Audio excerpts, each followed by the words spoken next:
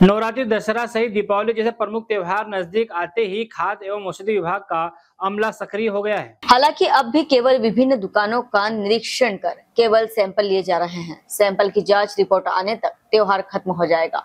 साथ ही मिलावटी व दूषित खाद्य सामग्री की बिक्री हो चुकी होगी। बुधवार को एसडीएम भास्कर गाछले के नेतृत्व में अमला वैष्णवी कॉलोनी में संचालित हो रहे नमकीन कारखाने पर पहुँचा। यहाँ परिसर में बन रही खाद्य सामग्री, तेल, मसाले आदि का निरीक्षण कर सैंपल लिए गए। कारखाने में कार्यवाही के दौरान फलहारी मिक्सचर, आलू चिप्स आदि पैक किए जा रहे थे।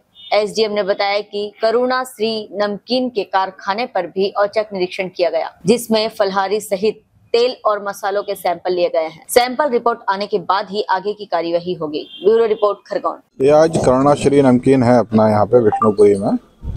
तो भी चूँकि त्यौहार का सीज़न आ रहा है फलहारी नमकीन वगैरह ये बनाते हैं उसको देखते हुए आज यहाँ पे आकस्मिक रूप से हम प्राप्तोल विभाग की टीम को लेके यहाँ पे आए हैं कि ता, ताकि जो भाई आम जनता में जो चीज़ पहुँच रही है वो सही चीज़ पहुँच रही है कि नहीं पहुँच रही है। तो उनकी पूरी प्रोसेस को देखा है और बाकी जो जो चीज़ों का ये निर्माण कर रहा है उसका सबका सैम्पलिंग करी जाएगी। अगर कोई गलत चीज़ों का इस्तेमाल कर रहा है गलत खाद्य पदार्थों का इस्तेमाल करके बनाया जा रहा है तो उस पर नियमानुसार कार्रवाई की जाएगी और सब कुछ सही रहेगा तो कोई दिक्कत ही नहीं। सर शहर में और भी दुकानें बहुत जगह है अभी है हमने अभी बीच में एक बेकरी पे भी कार्रवाई करी थी और आगे सतत ये कार्रवाइयाँ चलती रहेंगी कहीं ना कहीं पे। जहाँ जहाँ भी हमें थोड़ा सूचना मिलेगी और जहाँ पे कहीं अनियमितता हो रही होगी वहाँ पे लगातार ये कार्रवाइयाँ करते रहेंगे।